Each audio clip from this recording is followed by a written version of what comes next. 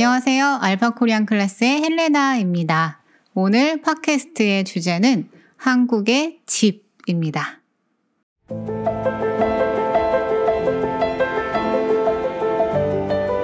여러분은 혹시 한국에 유학을 온다거나 아니면 잠깐이라도 머물면서 살아보고 싶다라는 생각 해본 적 있으세요?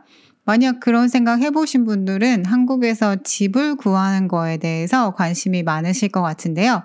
그래서 오늘은 한국 사람들은 보통 어떤 집에 살고 그러려면은 또 비용은 얼마나 드는지 그런 얘기들을 나눠보도록 하겠습니다.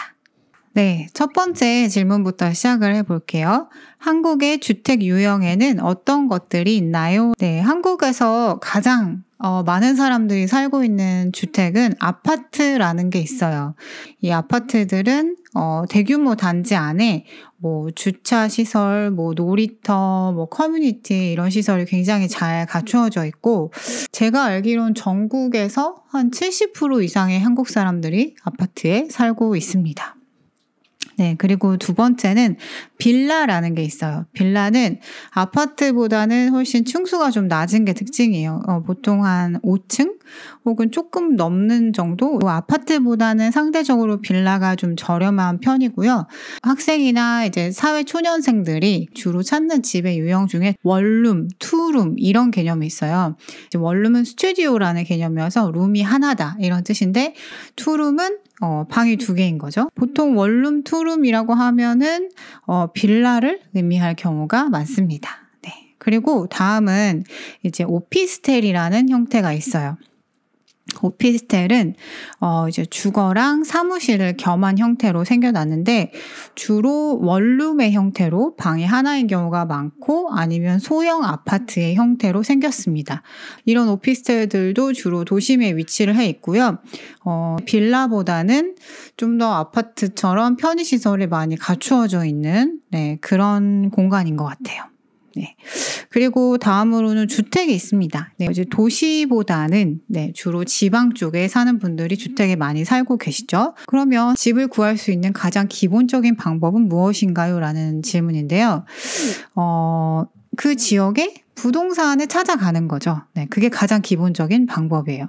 보통 부동산을 찾아가면 내가 예산이 얼마인지, 내가 지금 어떤 집을 찾고 있는지, 혼자 살 건지 둘이 살 건지 내가 애완동물이 있는지 없는지 이런 것들을 고려해서 얘기를 하고 내가 정말 내 집에 어, 이거는 꼭 있어야 한다 혹은 이건 절대 안 된다 라고 하는 조건을 얘기를 해주면 이제 부동산의 그 중개업자들이 집을 찾아줍니다. 그리고 집을 내가 이제 본 다음 에 그게 마음에 들면은 계약을 하게 되는데 그때 이제 부동산 업자들에게도 어, 중개 수수료라는 명목으로 또 돈을 조금 줘야 돼요. 자, 그럼 다음 질문으로 가볼게요. 어, 한국에서 부동산에 관련한 인기 프로그램은 무엇인가요? 라는 질문이에요. 제가 좋아하는 프로그램 중에 구해줘 홈즈라는 프로그램이 있어요. 한마디로 부동산 정보 프로그램이에요. 네. 저 같은 일반인 의뢰자가 뭐 예산이 얼마인지, 그 다음에 내가 찾고 있는 집이 어떤 집인지 이런 조건들을 몇 가지를 얘기해주면 거기에 있는 어, 두 팀이 있는데 두 부동산 중개업자처럼 그 의뢰인이 원하는 가장 최적의 집을 찾기 위해서 어, 대결을 하는 그런 프로그램이에요. 또 예쁜 집도 많이 소개가 되고 또 집의 타입도 굉장히 다양하게 다 나와요. 제가 말씀드린 뭐 아파트, 빌라, 단독주택 또 서울뿐 아니라 또 지방 도시들의 어, 집들도 많이 나오거든요. 그래서 뭐 한국에서 정말 집값이 어느 정도가 되나 궁금하신 분들은 이 프로그램 보면은 어, 좋을 것 같습니다. 네, 그러면 다음 질문으로 가볼게요. 한국에서 주택을 소유한 사람들은 얼마나 되나요? 2022년 통계청 자료를 찾아봤는데 일반 가구의 주택 소유율은 56.2%래요. 그러니까 절반이 조금 넘는 사람들이 집을 소유하고 있습니다. 그 집을 소유한 사람이 누구냐라고 봤을 때 소유한 사람의 연령이 70 대 이상인 경우가 70.4%래요. 그리고 가구원 수가 5인이 이상일 경우 집을 소유한 비율은 74.8%. 그래서 이걸 보면은 어, 연령대가 높을수록 그리고 세대 원 수가 많을수록 어, 집을 소유해서 살고 있다는 것을 볼 수가 있는 것 같아요. 전세 제도라는 게 뭔가요? 어, 전세라는 거는 한국에만 있는 되게 독특한 임대 시스템이에요. 뭐 두 달치 정도에 해당하는 보증금을 미리 내고 매달 100만 원, 뭐 50만 원 이렇게 월세를 내는 개념. 전세는 그게 아니라 매매가의 한 50% 정도 그 정도에 해당하는 돈을 한 번에 다 줘요. 처음에 들어갈 때.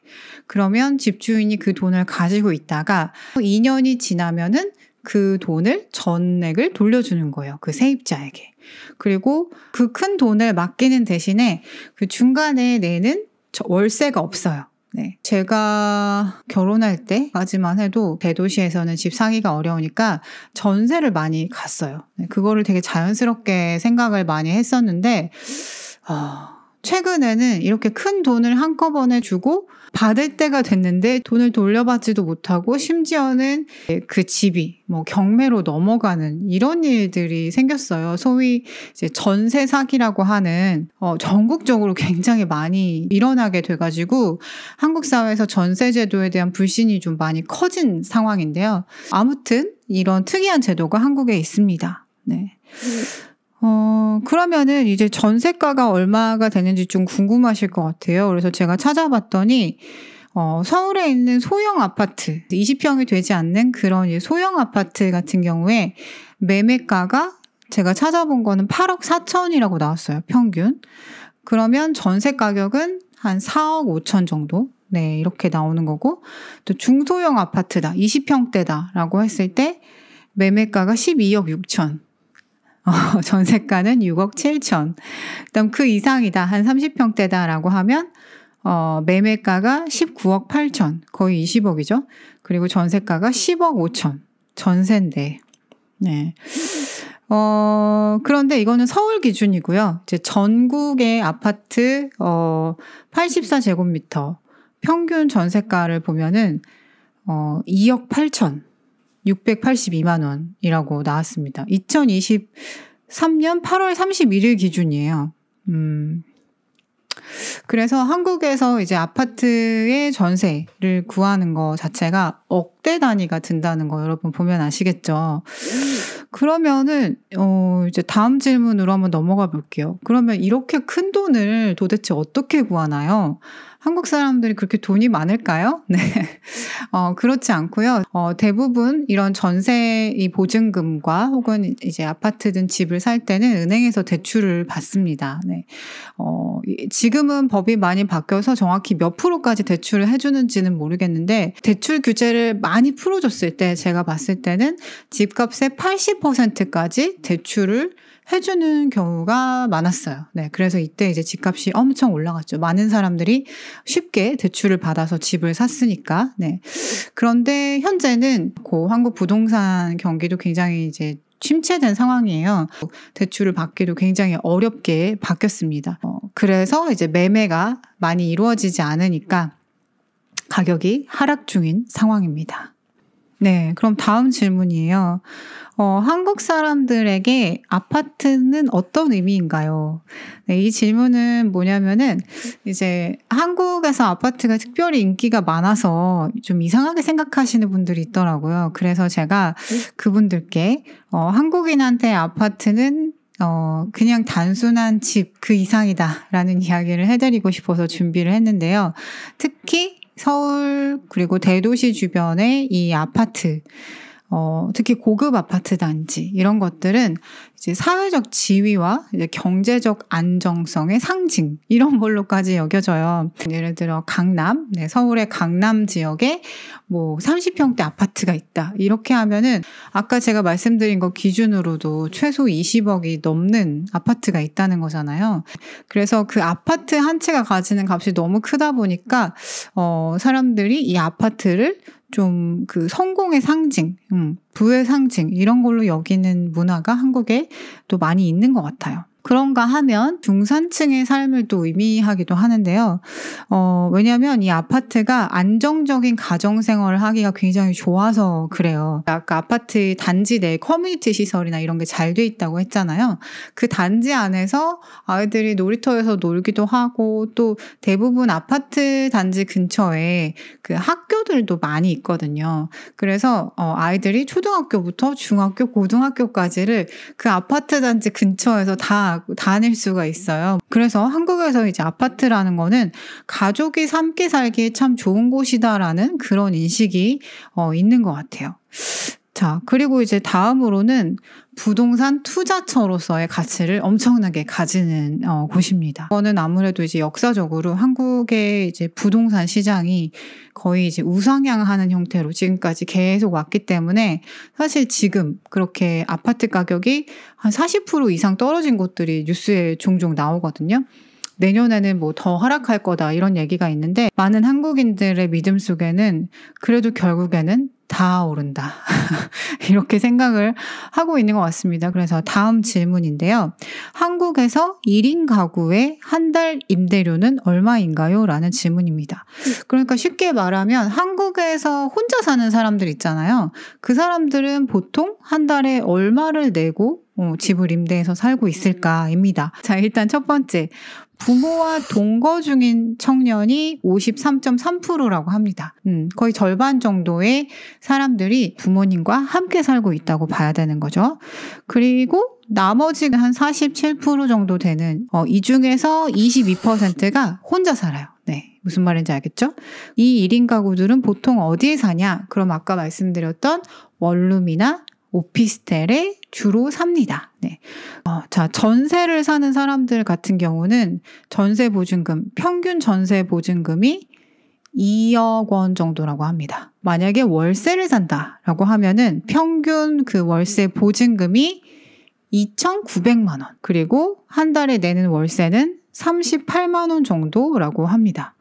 근데 여기 보니까 재밌는 게 기타 금액이라는 게 있었어요. 뭐 인터넷, TV, 수도요금, 뭐 전기요금, 가스요금 이런 것들 있잖아요. 이런 것들의 총합 이게 약 15만 원 정도가 됩니다. 둘을 합치면은 뭐 거의 50만 원 정도 그러면 다음 질문입니다. 어, 좋은 위치에 있는 저렴하고 질 좋은 단기 주택을 찾는 방법은 무엇인가요?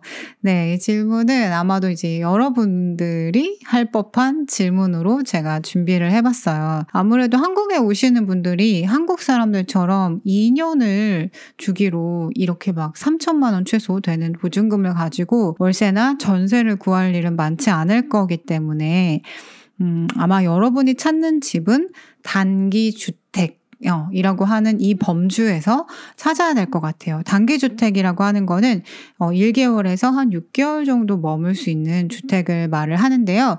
온라인에 여러분들이 단기주택 이렇게 한국어로 검색을 하시면 어, 사이트가 많이 나옵니다. 네. 그러면 최소 어, 일주일 단위로 집을 계약할 수 있게 그렇게 구성이 되어 있고요. 어, 굉장히 품질 좋은 집들도 많이 있고 사진도 많고 또 사용자 리뷰도 많이 달려 있어서 여러분들이 집을 찾기는 되게 좋아요. 다만 단점은 좀 비싸다는 거죠. 한 달에 60만 원에서 200만 원 정도. 네. 그런데 만약에 여러분이 어, 학생이고 어, 좀 더 저렴한 곳을 찾고 싶다라고 하신다면은 어, 저는 이곳을 추천드려야 될 것 같아요. 고시원이라는 곳입니다. 네. 공부에만 전념을 하고 딴 생각을 하지 않도록 어, 아주 그냥 기본 필수품만 제공이 되어 있는 그런 아, 작은 공간을 고시원이라고 합니다. 그래서 보통 방 한 칸에 어, 작은 1인용 침대 하나 어, 뭐 책상 하나, 옷장 하나, 요 정도가 들어가고요. 공용으로 쓰는 시설이 있는데, 뭐 화장실, 샤워실, 세탁실, 주방, 이런 건 다 공용으로 쓰는 곳이에요. 그런데 이제 여기에서 여러분들이, 어, 개인 화장실을 쓰고 싶다. 개인 욕실을 쓰고 싶다라고 하면 어, 조금 더 어, 가격이 비싼 그런 방들이 있습니다. 그래서 옵션에 따라서 어, 방 가격은 조금씩 올라가는데 고시원의 좋은 점은 게스트하우스에 뭐 빵이랑 뭐 계란 뭐 이런 것들이 기본으로 있는 것처럼 한국식으로 밥과 뭐 라면, 김치, 물 이런 것들이 무료로 제공이 되는 곳들이 대다수여서 식비를 또 많이 아낄 수가 있습니다. 어, 고시원은 보증금이 없거나 한 달치 정도를 보증금으로 받는 경우가 대다수입니다. 네. 그래서 제일 저렴한 건 한 30만 원, 그리고 시설이 좀 좋으면 80만 원 정도까지 있어요. 최근에는 기존의 고시원보다 시설이 좋은 고시텔 어, 리빙텔, 원룸텔 이런 것들이 생겨났어요. 그래서 여러분들이 인터넷에서 고시원 검색하시거나 고시텔, 리빙텔, 원룸텔 이렇게 검색하시고 여러분이 이제 살고 싶은 지역의 이름, 네, 뭐 홍대, 뭐 신촌, 뭐 강남 뭐 이렇게 검색하시면 적당한 고시원 구할 수 있을 것 같습니다. 한국에서 집을 다룬 어, 유명한 영화가 있으면 추천해 주세요라는 건데요. 첫 번째는 콘크리트 유토피아라는 2022년 영화가 있습니다. 지진으로 세상에 있는 모든 집들이 다 무너졌어요. 그런데 그 유일하게 황궁 아파트라는 건물만 무너지지 않고 살아남은 거예요. 다른 곳에서 집을 잃은 사람들을 어, 도와주면서 같이 살면 좋을 텐데 물론 그 항공 아파트 안에 그러길 원하는 사람도 있지만 다른 사람들을 또 배척하고 싶어하는 대다수의 주민들이 있거든요. 그래서 이 영화를 보면은 그 지금 현대 한국에서 굉장히 많은 문제가 되고 있는 그런 이기주의 이런 게 어떤 건지 보실 수 있다는 점이 있어서 추천을 드리고요. 두 번째는 소공녀라는 독립 영화인데, 어, 이 영화는 이 콘크리트 유토피아랑 완전히 다른 관점입니다. 이 소공녀라는 영화에 나오는 20대 주인공은 집에 대한 욕심이 극단적으로 없어서 자기 인생에 세 가지만 있으면 더 이상 바랄 게 없다고 합니다. 하나는 하루 한 잔의 위스키. 또 하나는 하루 한 모금의 담배. 그리고 세 번째는 어, 사랑하는 남자친구. 저는 뭐 이 주인공의 상황에 어, 공감하고 나도 그럴 수 있다라고 생각한 거는 아니었지만 어, 어떤 의미에서 되게 통쾌함을 느꼈어요. 왜냐하면 대부분의 사람들이 집이 원래 가지고 있는 그 의미보다도 훨씬 중요하게 생각하는 것 같으니까 그 압력에 좀 숨이 막혔던 것 같아요. 근데 이 영화를 딱 보니까 주인공이 전혀 반대로 극단적으로 어, 그런 게 마치 전혀 중요하지 않다는 듯이 그렇게 지내는 모습을 보니까 하, 뭔가 좀 숨이 트인다고 해야 되나? 네, 그런 느낌을 받았습니다. 그래서 되게 좀 도발적인 그런 영화라고 할 수 있는데 이 소공녀 한번 보시면 좋으실 것 같아요. 어, 그러면 저는 여기에서 인사드리도록 하겠습니다. 여러분 이 영상이 도움이 되셨다면 좋아요, 구독 눌러주시고 저는 다음 시간에 더 유익한 내용으로 찾아오겠습니다. 여러분 안녕!